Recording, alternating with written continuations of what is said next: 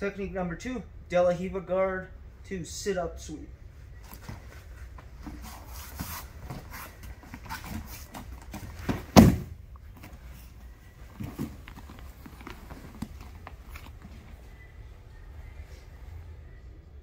De La Riva guard to sit up sweep. Step number one, I take my foot off the hip and I push on the far knee, allowing myself to sit up.